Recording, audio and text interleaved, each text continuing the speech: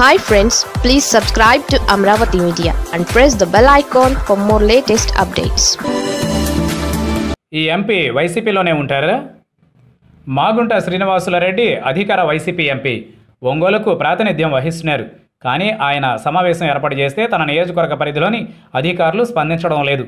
పార్టీలోనూ సరైన ప్రాధాన్యత లభించడం లేదని ఆయన వర్గీయులు ఆవేదన వ్యక్తం చేస్తున్నారు. ఇంతకు ఆ పరిస్థితి ఎందుకు వచ్చింది? మాగుంట పార్టీ పట్ల అసంతృప్తిగా ఉన్నారా? రాబోయే ఎన్నికల నాటికి తను పార్టీ మారాలని భావిస్తున్నారా?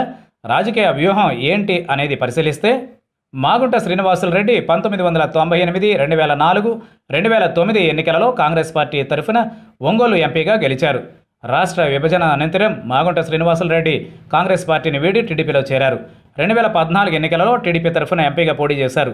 ఈ ఎన్నికలలో వైసీపీ అభ్యర్థి వైవి సుబ్బారెడ్డి చేతిలో పరాజయం పాలయ్యారు.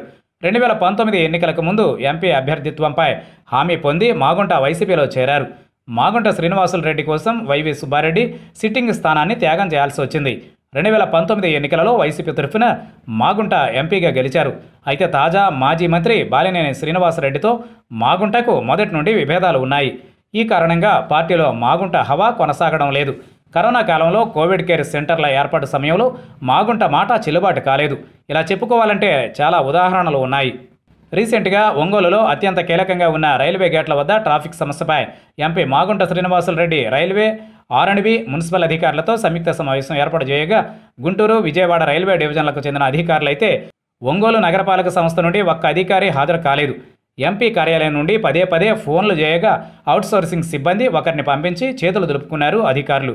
ప్రధాన సంస్థపై అధికారులతో సమావేశం ఏర్పాటు చేస్తే స్థానిక అధికారులు గైర్హాజరు కావడంపై ఎంపీ మాగుంట తీవ్ర అసంతృప్తి వ్యక్తం చేసినట్లు సమాచారం. మరో ప్రక్క శ్రీనివాసులు రెడ్డి పార్టీలో సరైన గౌరవం గుర్తింపు లేని కారణంగా అసంతృప్తితో ఉన్నారని రాబోయే ఎన్నికల నాటికి టీడీపీలో చేరే అవకాశం ఉందని కూడా ప్రచారం జరుగుతోంది.